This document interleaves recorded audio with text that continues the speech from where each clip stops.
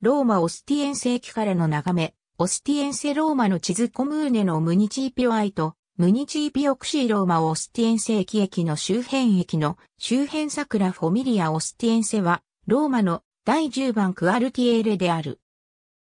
QX と省略される。市の南部にあり、アウレリアヌス城壁とテーベレ川の対比所である。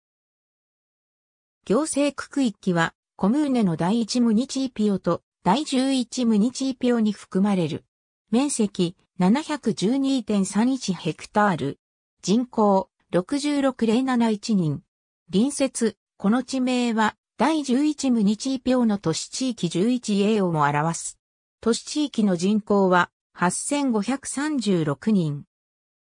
1930年まで SO と略される同名のスブルビオも存在していた。オスティエンセは1911年に最初の15のクアルティエーレの一つとして生まれ、1921年に公式に設立されオスティエンセ通りの名前を得た。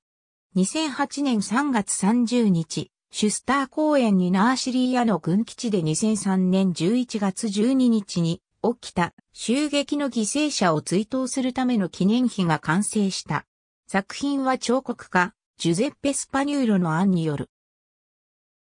地下鉄、在来線、オスティエンセ駅サンパオロ門で、アウレリアヌス城壁のテーベレ川から分けられている。